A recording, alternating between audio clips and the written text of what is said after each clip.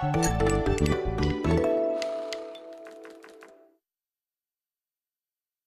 西游记》中的花果山是否存在？山中古井里藏有多少地理玄机？聊天说地，地理中国即将播出。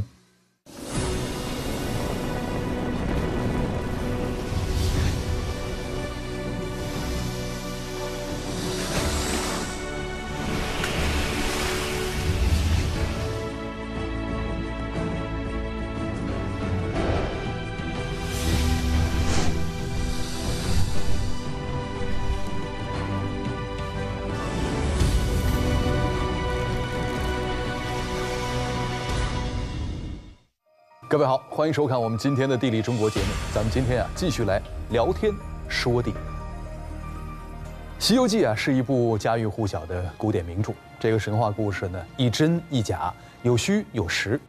唐僧的三个徒弟啊是假的，但是唐僧确有其人。唐玄奘取经，这在历史上呢确有其事。玉皇大帝的天宫呢是虚拟的，但是花果山水帘洞现实生活中有很多与之相似的地方。小说里提到过的很多地名啊、故事啊，在现实中呢都是有据可考的。您比如说水帘洞啊、流沙河、火焰山等等，不光在现实中能够找到这些地方，就连名字和小说里都是一模一样的。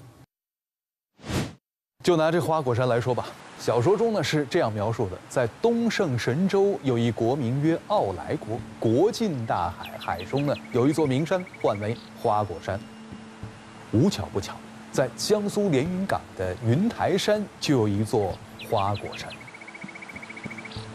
东临黄海，西接中原，这山上呢也有一个水帘洞。据说啊。这个水帘洞呢，早在小说《西游记》成书之前呢，就已经是闻名遐迩了。套用时下的网络用语，那是古代有名的网红打卡地。《西游记》的作者吴承恩出生在江苏淮安，距离连云港一百多千米。这个吴老先生是不是也到过这个水帘洞打过卡？是不是受到这里奇山异水的启发，才有了神来之笔，把孙悟空？安家落户在水帘洞了呢。连云港位于江苏省东北部，距离江苏省会南京约三百千米。连云港古称海州，自古就是我国的滨海重镇。海边的人们传承着靠海吃海的生活方式。每当夕阳西下。潮涨之时，千百只渔船浩浩荡荡地驶入港口，渔民们便迎来了一天中最忙碌的时刻。连云港紧靠黄海，这与《西游记》中傲来国东胜神州国尽大海的地理位置十分相似，而在连云港境内。刚好有一条北东南西走向的山脉——云台山。那么，云台山上是否能够看到小说中花果山上相似的奇幻场景呢？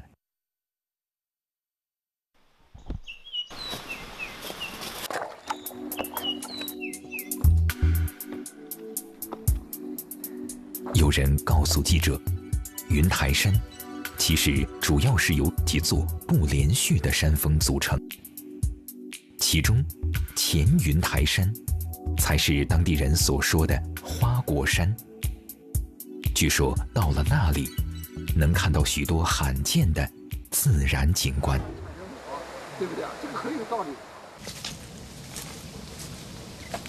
《西游记》里边描述的很多自然景点。在我们连云港的花果山上都能找到它的原型。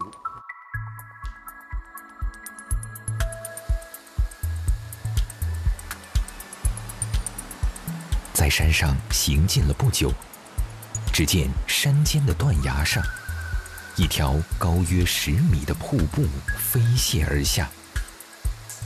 在瀑布背后，还有一个黑黢黢的洞穴。向导告诉我们。这里就是传说中孙悟空居住过的水帘洞。那么，在这个水帘洞的里面，是否能看见小说中的福地洞天呢？一进洞口，顿时感觉到一股凉意袭来。洞里面并不宽敞，却十分狭长。顺着山洞继续行进，不久，记者发现了一个洞厅，里面摆放着石椅和石凳，洞壁上还有一些不知年代，但形似石猴的雕刻。那么，这个洞穴究竟是如何形成的？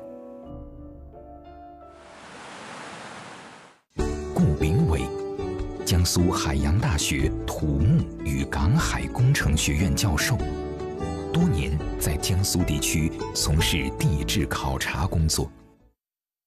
来到云台山，顾教授首先对水帘洞进行了考察。在洞中，专家发现，水帘洞的洞壁上有着明显的刻痕。我们看这个洞壁上，这个洞壁上有很多的人工开凿的痕迹。然而，在进一步观察后，顾教授发现，水帘洞所在的山体上布满了多条深长的裂隙，这说明这里也曾经历了强烈的地质运动。他说，水帘洞的形成很可能与这些裂隙的存在有着必然的联系，而洞中的那些刻痕。很可能是古人为了拓宽洞穴而开凿的。顾教授建议，进一步对云台山展开更大范围的考察。一个多小时后，顾教授经过对这一带岩石的考察，得出来初步结论：我们整个花果山的岩石的话，基本上都是属于变质岩，就是像我们这种比较厚块的。那么这种的话，我们称之为变裂。专家告诉我们，云台山的岩石属于一种叫变力岩的变质岩。这种岩石主要由长石和石英构成，颗粒致密，硬度较高。在查阅资料后，专家进一步推断，云台山位于我国中央造山带。秦岭大别造山带和我国东部最大的断裂带坛庐断裂带的交界地带，因此地质运动非常活跃。在多次构造运动中，云台山上形成了不同方向的大量裂隙。所谓的水帘洞，其实就是山体在两条人字形裂隙的切割下。形成的一个狭长洞窟。后来，曾有古人在天然洞穴基础上开凿加宽，再加上洞口飞泻的瀑布，使人们产生了宛如仙境的美好感受。这么一看，连云港的云台山和小说中描写的花果山很相似啊，但是又有不一样的地方。这个小说中是这么说的：那花果山是市镇汪洋，潮涌银山鱼入穴，威宁摇海，波翻雪浪甚离渊。意思是说啊，这花果山呢位于大海之中，海潮汹涌，吓得鱼躲避进洞穴里。气势非凡的花果山，如同浪花上的仙境一样。那依照这样的描写，这花果山似乎是一座大海中的岛屿。至少是一座三面环海的岛屿。可是，我们注意到啊，这连云港的云台山周围呢都是陆地，是吴承安先生依据现实中的花果山加以想象演绎，还是说，这连云港的云台山曾经就是一座海中的岛屿，后来斗转星移，沧海桑田，发生了变迁呢？在查阅了大量史料。并结合古今地图对比研究后，我们发现，原来历史上那一座海上仙山苍梧山，就是今天江苏省的最高峰云台山。专家告诉我们，云台山下是一片平均海拔不足四米的平原。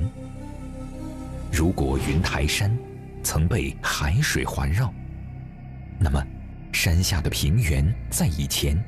很可能处于海底，那里或许会留下一些海洋环境的印记。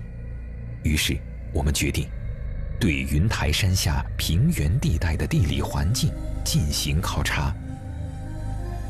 记者首先来到了距离云台山约二十千米的灌云县小伊镇。顾教授决定对这一带农田里的土壤进行考察。哎呀！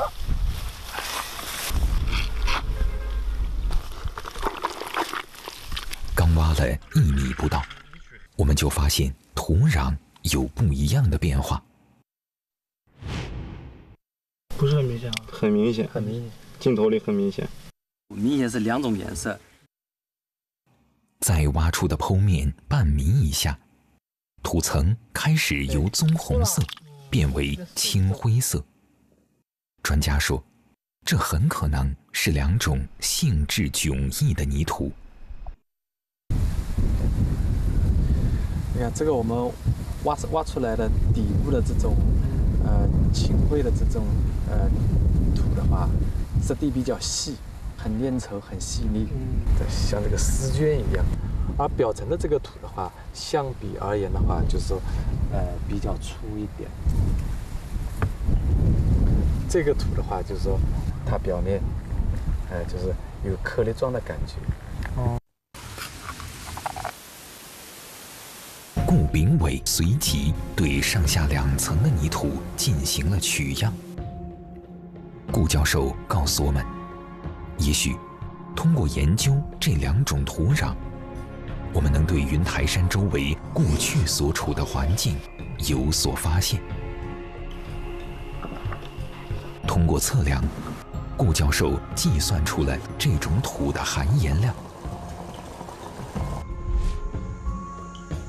顾教授告诉我们，耕作土壤的含盐量普遍在百分之零点一到百分之零点二，而在云台山不足一米深的地下。土层的含盐量竟然高达百分之二点八，这在陆地上是罕见的。这种青灰色土，在整个连云港地区的分布范围和规模是什么情况呢？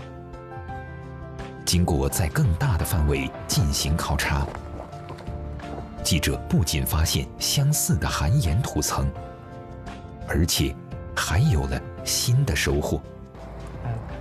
嗯，这里还有，像这种的话，就是说它还没有完全石化，就是和这个芋泥结成一体的话，就说明这个时代比较新。嗯，哎，这个芋泥的话，可能也就最近的几百年吧。顾教授分析说，贝类是典型的海洋生物，这些青灰色软土中。夹杂着这些物质，说明它们都是在海洋环境中沉积形成的。再加上土壤中高达百分之二点八的含盐量，这些证据都说明，眼前的平原曾经浸泡在海水之中。云台山曾经是一座名副其实的。海上孤山。考察至此，有关云台山的种种谜团逐渐破解了。我们不禁感慨于大自然那悄无声息、沧海桑田的变化。它让山河改观，河流改道，海上仙山已经不再缥缈难寻。曾经的惊涛骇浪如今的一马平川。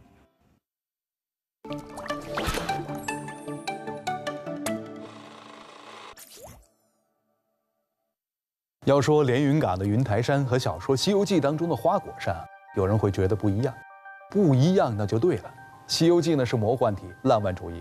说到魔幻浪漫，不得不佩服吴承恩老先生。《西游记》里有一个故事，我要给大家说一说。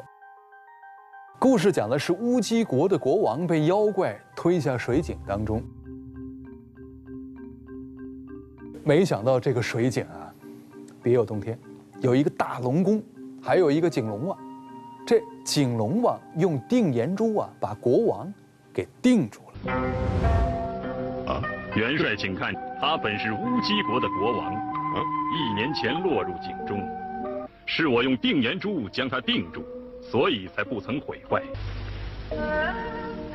啊，你们看，这是乌鸡国国王，你看他容颜未改。对了。那龙王说，说这国王身上有什么什么什么定颜珠？乌鸡国水井中的龙宫是作者虚构的，但是在我国辽宁新城的觉华岛上就有这么一口水井。当地人说啊，这口井呢深不见底，不仅有龙宫，而且呢水井还和大海相通，连大龙宫名字都和《西游记》一模一样。更加令人不可思议的是，这口井据说呢已有千年历史。可至今呢，井水取之不尽，从不枯竭。这水井底下有什么奥秘？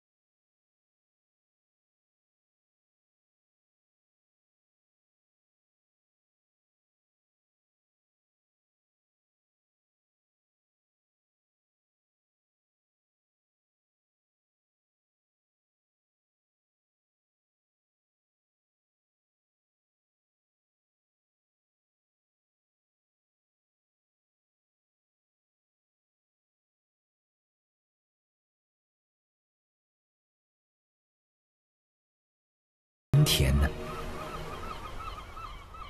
古井位于寺庙一棵枝繁叶茂的古树之下，井的四周被汉白玉围栏环绕。为了防止树叶等杂物掉落，井口也镶上了玻璃。打开玻璃盖，记者发现井内异常幽深，难以看清井底的情况。它真的如当地百姓所传，和大海相通吗？辽宁工程技术大学的陈建平教授，首先对古井内的水进行了取样。经过化验，陈教授告诉记者，海水因为地域差异，溶于水中的盐类物质的浓度不同，其中。氯离子浓度大致在一万九千 ppm 左右，而八角井中的水含有氯离子只有两千五百 ppm，含量远远达不到海水的标准。因此，专家初步推断，虽然八角井距离海岸线仅有三十来米，但水井和大海并未连通，水源。并非来自大海。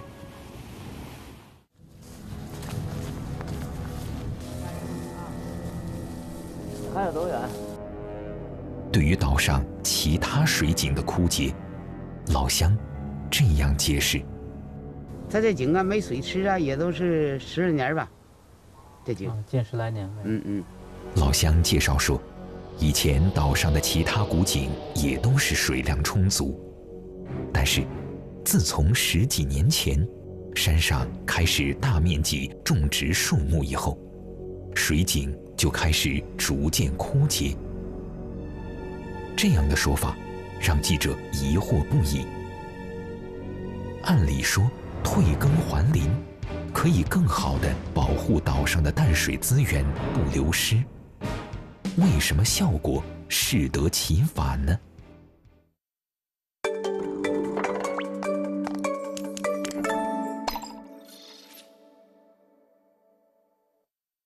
说到地下水啊，我想呢，有的人比较了解哈，有的人呢不太清楚。大家看，我手中拿的这瓶奶昔，这是我们自己做的啊，卖相不是特别好。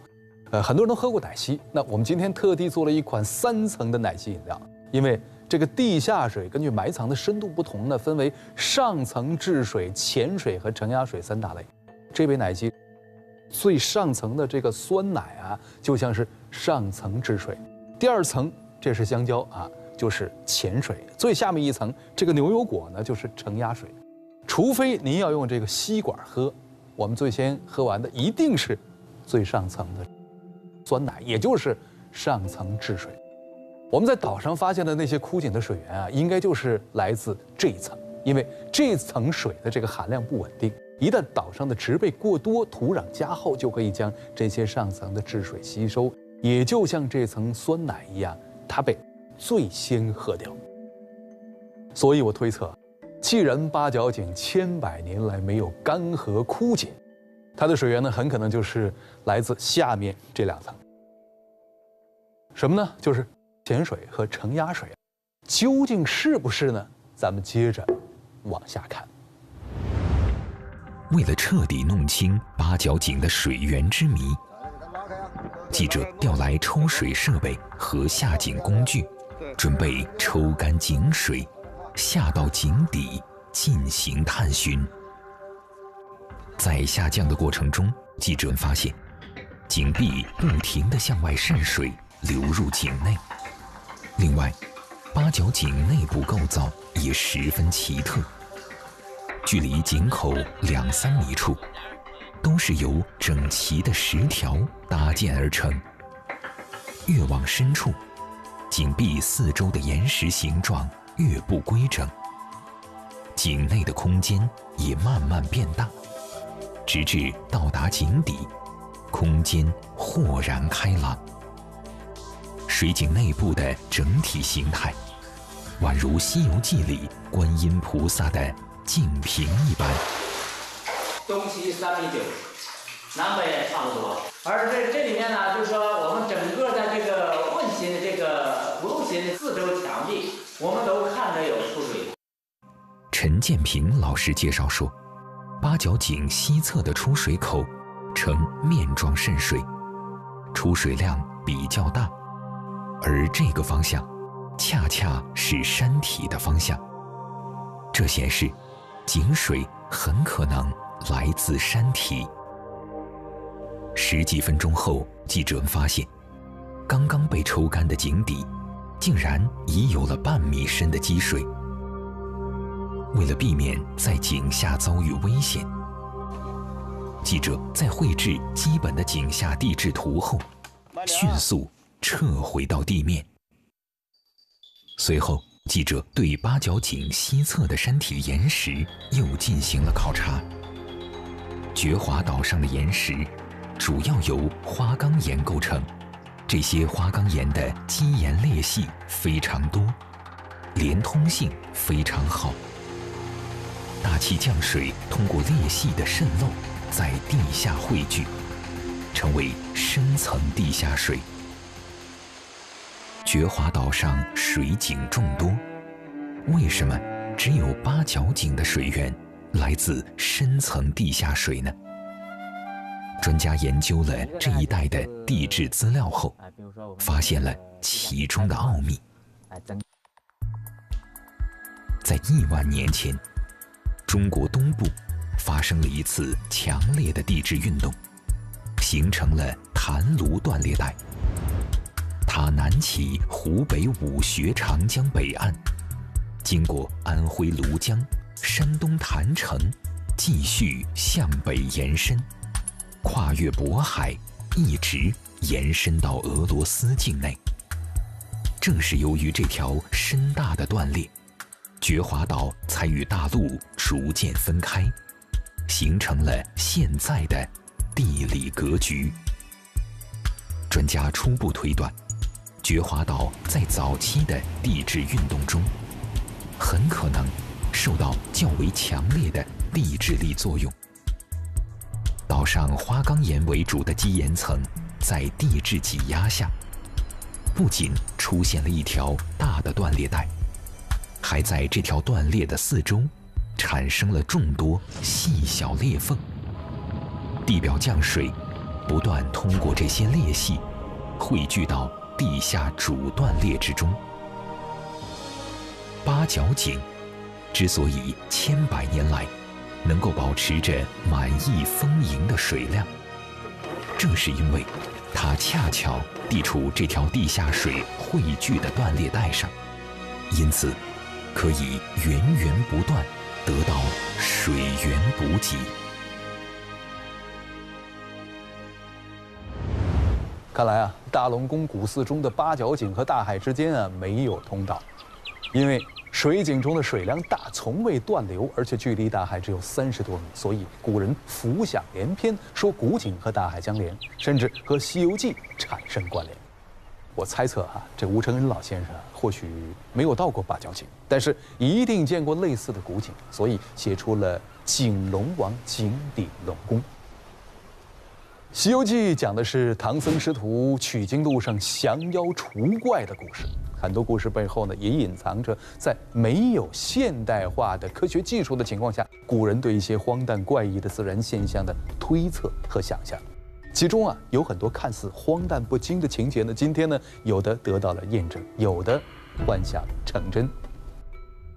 爱因斯坦曾经说过：“想象力比知识更重要。”无论是文学作品还是现实生活当中，都应该尽情释放我们的想象力，去探索未知的世界。今天我们和观众朋友们一起游历了花果山水帘洞，一起探究了千年古井。后面的节目啊，我们将继续带着想象力和您一起解读山水奥妙，探寻自然谜题。感谢您收看我们今天的《地理中国》周末版，聊天说理。